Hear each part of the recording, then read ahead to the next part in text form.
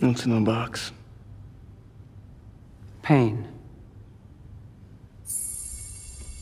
On the outside, support on the inside from Sleightholme, and they cut the cheeks open.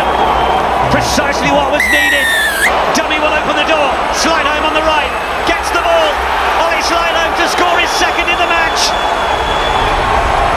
Freeman will then draw fire back.